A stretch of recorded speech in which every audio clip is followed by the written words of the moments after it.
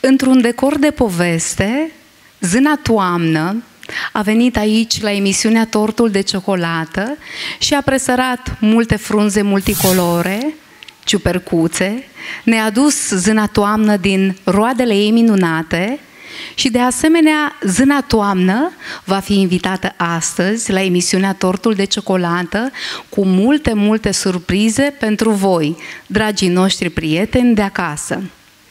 Bine v-am găsit, scump prieteni ai tortului de ciocolată. Și săptămâna aceasta, zâna Adriana vine în casele voastre pentru a vă aduce multe, multe surprize și, evident, cu acest decor de poveste, o poveste spusă de niște copii minunați care vin astăzi să participe la campania noastră, Școala mea pe primul loc, ediția 4 2017-2018. Rămâneți alături de noi și veți vedea ce multe surprize frumoase v-am pregătit. Bine v-am găsit!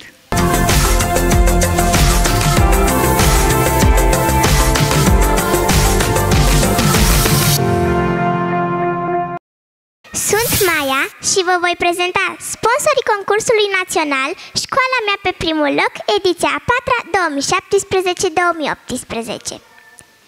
Eliana Mall, Blue Residence, Velpitar, Cofetăria Delis Dana, Avon, magazinul recreativ, After School Copiii Premium, magazinul You and Me Eliana Mall, Bebe Rostogol, Frizeria Prichindel, Clubul de dans La Pasion, Asociația Firul Întors, Spațiul de joacă Zigzag Kinderland, Cezare, Carote, Luxury, Osaha, Raxela, Florăria Mara, Edu Fashion, Naturalex, Fantasy Shop, Cramele Recaș, ABM Fashion, DM. Sonorizarea evenimentului este asigurată de Emanuel Angel și Emanuel Music Band. Fotografiile evenimentului sunt realizate de Laurențiu Guranda. Partener media Mix TV și emisiunea Tortul de Ciocolată, revista Metropola, revista Zile și Nopți. Imaginea zânei este asigurată de Clinica de Estetică New Line, Coafiora, Salon Terranova, Machiaj, Makeover Paris, Vestimentația, Magazin New Me, Eliana Mall.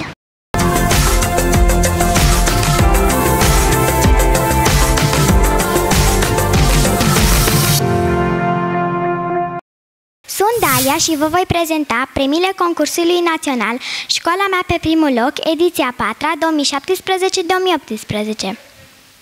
Locul 1, 2000 de ron și trofeu. Locul 2, 1500 de ron și plachetă. Locul 3, 1000 de ron și plachetă. Premiile speciale sunt oferite de Sezare, Kinderland, La Pasion și Recreativ. Toate aceste premii vor fi oferite în cadrul evenimentului Gala Națională a Profesorilor din luna iunie 2018. Sponsorii oficiali sunt Eliana Mol și Blue Residence.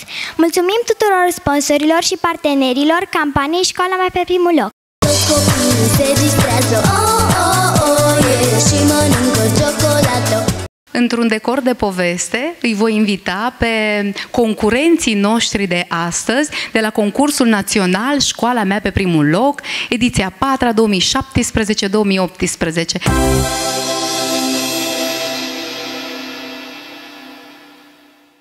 Continuăm uh, discuția noastră aici despre spectacolul uh, pe care grădinița numărul 33 l-a pregătit. Uh, ați văzut mai devreme o parte din spectacol, însă noi continuăm cu a doua parte a discuției pentru că tematica noastră este arta și cultura. Și spuneam noi că toate aceste activități cultural-artistice sunt foarte greu de realizat. Adică nu este ușor. La prima vedere pare frumos, așa ne încântă ochiul când vedem copiii, aranjați, costumați și știu poezii. Dar, de fapt, cum realizăm un astfel de spectacol?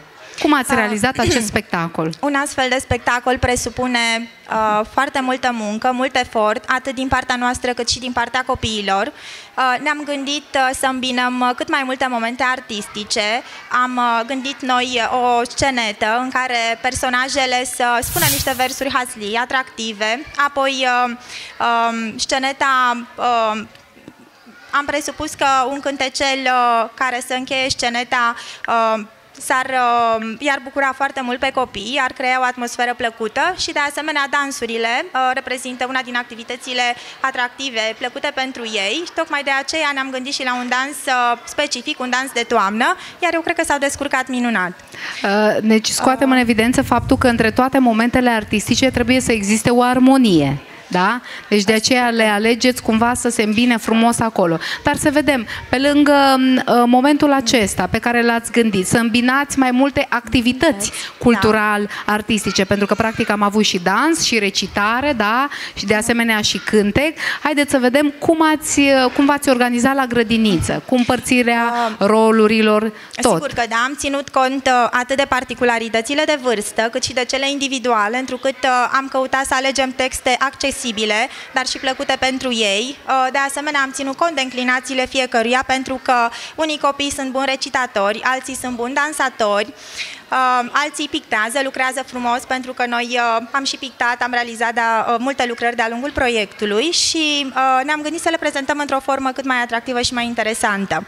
De asemenea, pentru ca acest spectacol să uh, creeze o imagine plăcută, a trebuit să confecționăm costume. Ne-am gândit că decorul și costumele uh, întregesc cumva întregesc tot spectacolul. Acest spectacol, iar aceste costume le-am confecționat noi, dar și cu ajutorul, noi cadrele didactice, eu și împreună cu colega mea, dar uh, și cu ajutorul părinților.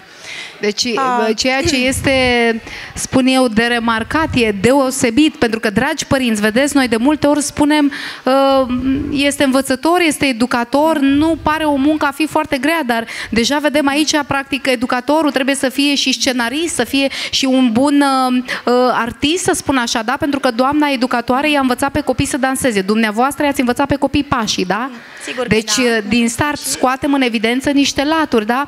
Câte, câte calități are un educator, câte calități are un învățător, vedeți? De aceea noi am vrut ca prin acest proiect să vorbim despre această muncă a cadrelor didactice, pentru că de multe ori Dragi părinți, cu tot dragul vă spun, dumneavoastră veniți la serbările organizate de noi, la spectacole și acolo într-o oră, în jumătate de oră sau cât este acolo, pare totul frumos, dar uitați cât de multe calități trebuie să aibă un cadru didactic și cât de multă muncă și imaginație. Deci dumneavoastră ați pregătit momentele artistice, dansul, de asemenea cântecelele, poeziile, da, costumele. De unde, cum v-au venit aceste idei? Deci toate costumele pe care dumneavoastră le-ați văzut în emisiune la copii sunt realizate în totalitate de Doamnele educatoare, de unde ați învățat? Ah. Pentru că probabil dacă eu m-aș fi uitat și uh, ca simplu spectator, m-aș fi gândit de unde a învățat o doamnă educatoare să realizeze astfel de costume, pentru că nu ne învață în liceu pedagogic. Uh, sigur că nu. Pot să spun uh, că internetul reprezintă o sursă de inspirație, dar uh, nu este suficient,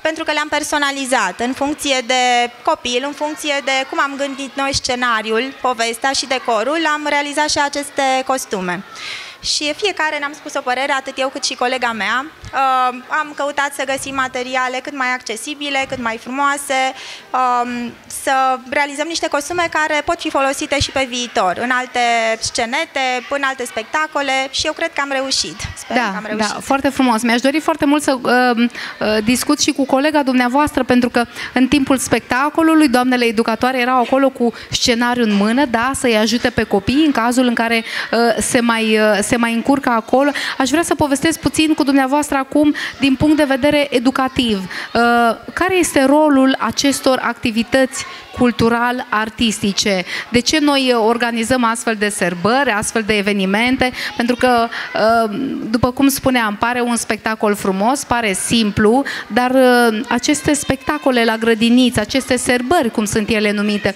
nu se organizează pur și simplu că nu mai aveți dumneavoastră ce face, pentru că de fapt este cea mai grea activitate. Este acolo, cum spuneam noi și discutam, și o modalitate de evaluare a tot ceea ce ați făcut în acest proiect. Uh, bun venit, uh, toamnă bogată. Care este mai departe scopul acestor activități? Ce învață de fapt realmente copiii prin aceste activități artistice? Cu ocazia diferitelor evenimente a zilelor culturale, poate și religioase, încercăm să promovăm competențele pe care copiii le dobândesc pe parcursul uh, diferitelor activități pe care noi le derulăm zi de zi. Părinții nu au de unde să știe exact ce se întâmplă în viața de grădiniță, pentru că nu e un loc unde doar stăm, e un loc în care noi ne dezvoltăm.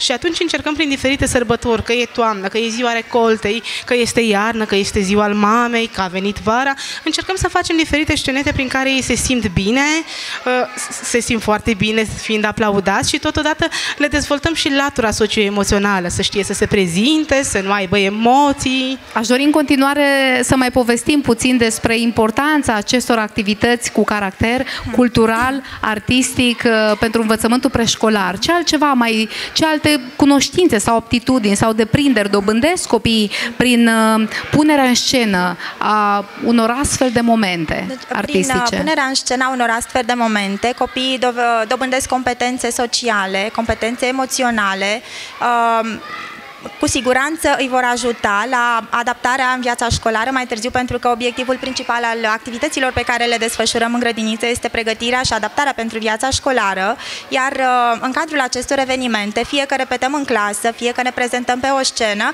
copiii învață să socializeze, învață să-și stăpânească emoțiile, învață să se exprime, iar uh, astfel de momente creează uh, prilejul pentru ei uh, de a de a se exprima, de a arăta și celorlalți, așa cum sunt ei de fapt, cum uh, suntem noi în viața de zi cu zi și cum uh, reușesc să se, pregătesc, uh, să se pregătească pentru școală. Totodată, în cadrul acestor evenimente, uh, în cadrul activităților de zi cu zi, aș spune că putem descoperi eventuale inclinații ale copiilor, adică vedem acolo unde copilul, uh, um, când copilul are o înclinație spre dans, spre muzică și prin intermediul lor dezvoltăm și totodată Puteți să puneți în valoare prin momente, punem da. în valoare și Talentul putem îndruma părintele, putem să descoperim anumite talente în cadrul acestor activități. Um, observăm, uh, pentru că ne-am format așa de-a lungul timpului, uh, ca să spun așa, un simț, uh, în sensul că vedem atunci când un, un copil are o inclinație spre dans, spre pictură, spre muzică și îl putem îndruma către astfel de activități pe viitor. De asemenea, dezvoltăm uh, simțul și gustul estetic, uh, cultivăm uh, uh, dragostea pentru artă, pentru frumos, învățăm să evalueze frumosul, să-l aprecieze uh, și totodată să-l creeze prin lucrurile pe care le fac. Foarte frumos. Aș dori să-mi povestiți puțin ce ați urmărit prin uh, evenimentul de astăzi, prin spectacolul pe care l-ați organizat uh, uh, cu copiii. Care au fost obiectivele? Cum spunem noi. nostru, de fapt, este o evaluare a proiectului Toamna. Noi desfășurăm diferite activități și activitățile noastre le încadrăm în anumite proiecte educaționale. Proiectul nostru este Toamnă, Toamnă, Harnică și de toate darnică.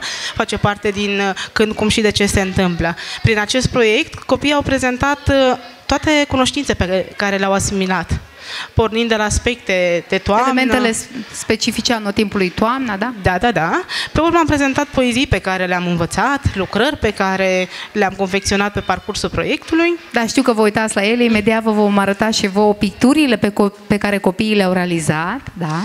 Am urmărit să-și dezvolte limbajul, am urmărit să fie expresivi, deci vedeți cât de multe aspecte se urmăresc într-un astfel de eveniment, cât de multe aspecte uh, se vizează acolo în momentul în care uh, cadrul didactic uh, se gândește să organizeze un astfel de spectacol. Iar noi în proiectul nostru punem accent pe acele uh, spectacole, pe acele momente artistice realizate în totalitate de cadrele didactice din instituția respectivă, da? fără alți colaboratori externi. Și totodată noi uh, am adus și obiecte din natură, foarte mult lucrăm la grădinițe Am văzut, și cu da, obiecte este din natură, și acest pentru aspect. că dezvoltăm unul iubirea de... față de natură.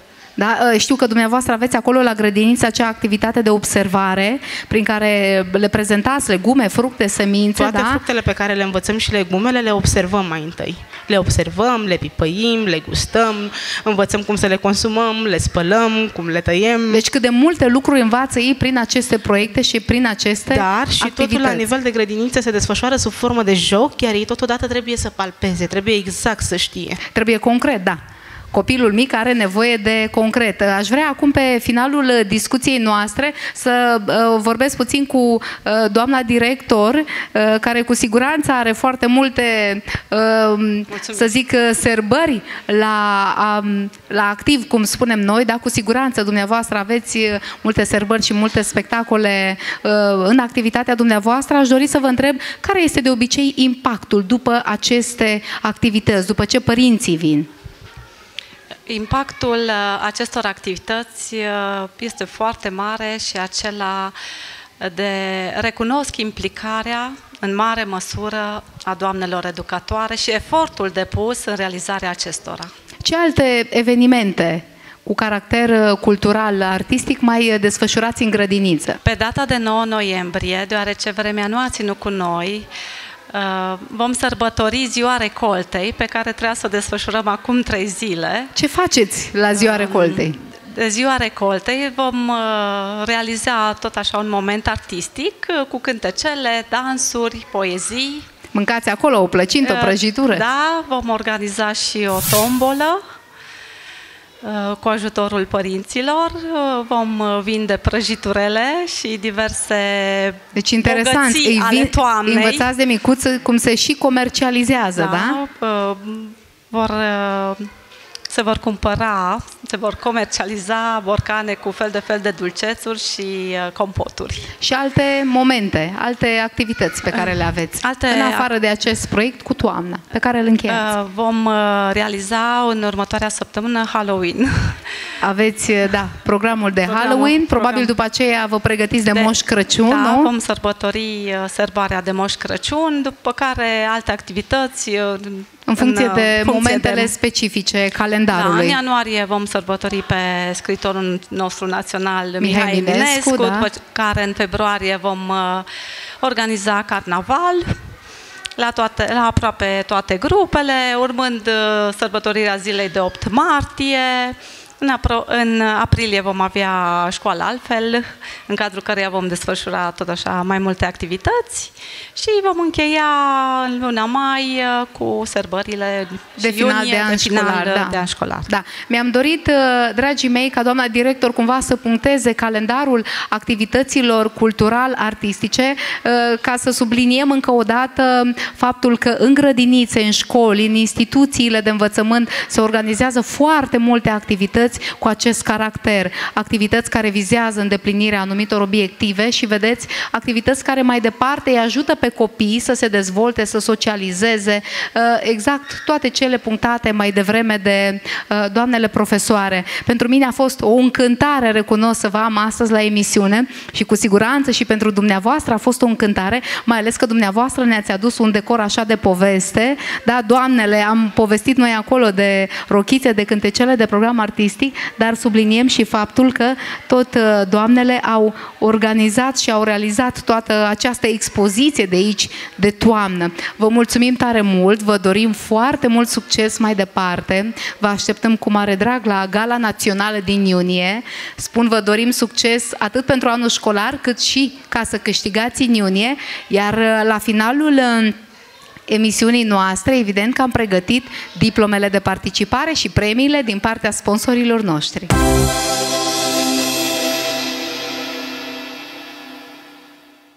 Mi-a plăcut, mi-ați încântat, frumos ați interpretat, dar vă văd rădător să-i vendem pe dansatori.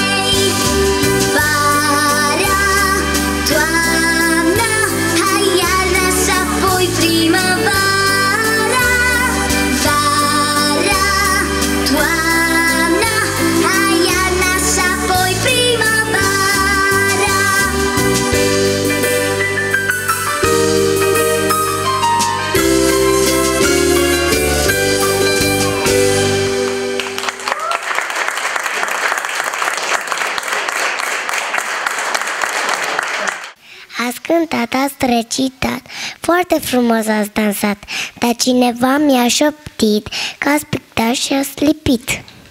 Se vede cu ați lucrat și lucrările ați realizat.